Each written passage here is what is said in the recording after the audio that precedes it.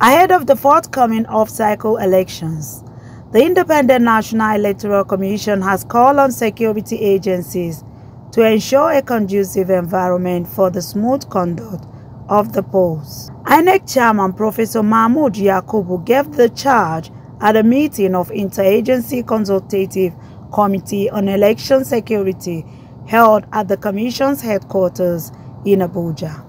Professor Yakubu, who said the conduct of isolated elections as by-elections and rerun elections can be very challenging, admonished the security agencies to ensure a heat-free contest and also pay attention to the potentials for destructive behavior by some candidates and their supporters.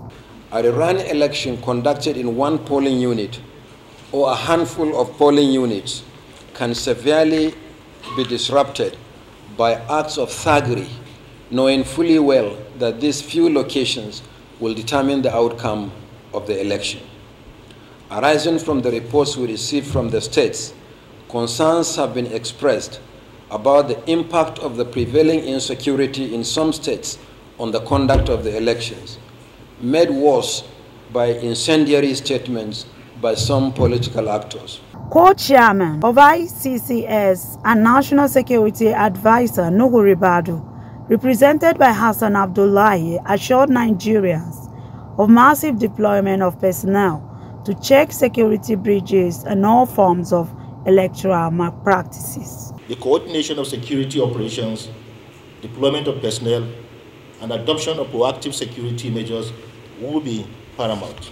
Meanwhile, Inspector General of Police Kayode Egbetokun on his part said the police as the lead agency in election coverage is determined to manage any insecurity challenge that may come up during and after the election.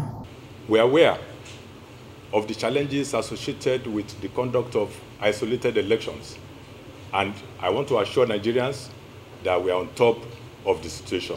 We are also going to deploy adequately and massively for this election.